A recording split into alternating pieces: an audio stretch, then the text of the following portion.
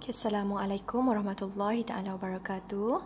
Untuk subtopik terakhir dalam fizik tingkatan 4, so kita akan sudahi dalam uh, hari inilah. Okay, sekarang kita berada dalam 6.6 per pembentukan imej oleh cermin sfera. So sekarang cermin. Last week kita belajar kanta. So bila dia cermin, dia ada satu muka je. Kalau tengok dekat sini, dia ada muka sebelah kiri je. Okay, atau sebelah kanan je cekung macam pipi awak cekung kan kurus kan ataupun awak kembung kan awak kembang kan okay.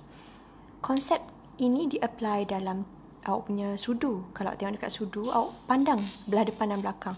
Awak akan nampak pada satu belah awak nampak keadaan terbalik dan pada satu belah lagi awak akan nampak tegak.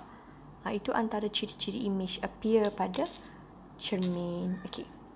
Sekarang nota awak saya nak awak buat uh, image yang terhasil Okay, ini just nak bagi tahu sajalah pada permukaan melengkung tu ada dua, satu melengkung cekung, satu melengkung cembung.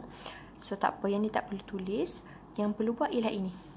Bagaimana nak draw sinar sekiranya lalu cermin cekung dan sekiranya lalu cermin cembung.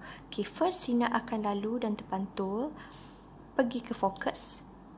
Yang kedua, sinar itu akan menuju ke P.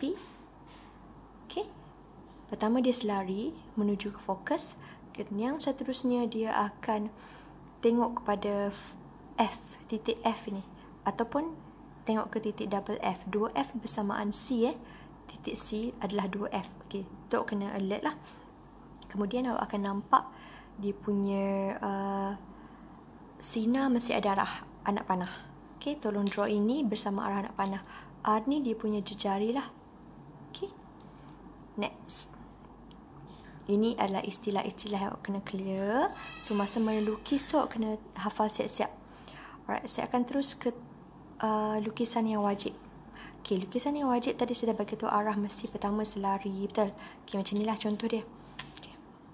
Arah mesti selari. Selepas selari, apa yang berlaku? Okay, dia akan dipantul semula. Ha, ni awak kena tengok. Ataupun sinar tu menuju ke F. Selepas menuju ke F dengan dotted line ni dia akan terpantul semula selari juga. So ini adalah cara drawing dia. Tapi saya nak awak draw yang yang bahagian ada image. Okay, bukan ini eh. Saya nak buat yang lagi satu. Ah, yang ni. Ini drawing. Sama macam tadi tapi dia lebih clear sebab dia ada uh, berapa jarak objek. Berapa jarak image. Dan apakah ciri-ciri image. Ah, yang ni. Saya nak awak buat yang ni. Okay, sebagai satu contoh explanation sahaja. Kita pergi pada sama lah, sama jarak. Okay, andai kata objek itu pada jarak 2F. 2F tadi saya kata adalah 2 kali F kan? Sini F, sini double F. Lagi jauh triple F. Fourth F macam tu. Okay, sekarang bila kita double F, dia bermakna dia di C tau. Okay, apabila objek tu berada di C, okay, berada di atas C sama dengan eh. Okay, apabila dia berada di C, awak lalukan sinar tu ke F kemudian selarikan. Dari kepala eh dari kepala objek lalukan sinar ke F dan selarikan. Okey satu. Yang kedua lalukan dari kepala tu selarikan ke cermin dan lalukan ke F. Nampak tak dua jalan? Jalan pertama F selari. Jalan kedua selari F. Nampak? Pertama F selari Kedua, selari F. Semua tu bermula dari kepala objek.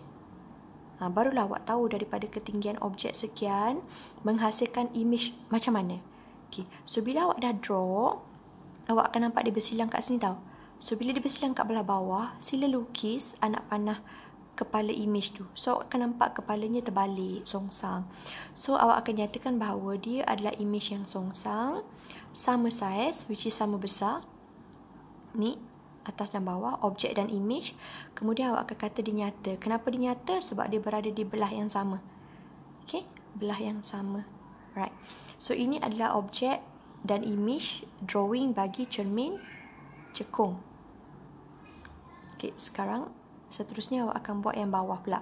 Ini pula adalah drawing untuk objek dan image serta sinar cermin cembung saya nak awak buat nota ini sahaja untuk bab ini sebab awak kena compare dengan kanta apa ciri-ciri kanta pula Okay. So, awak kena clear dekat mana kedudukan objek tu. Okay. Dan ke mana akhirnya kedudukan image awak. So, saya rasa tamat untuk 6.6. Selepas ni kita masuk latih 2B dan buat PBD dan akan lalui bengkel teknik menjawab. Okay, terima kasih.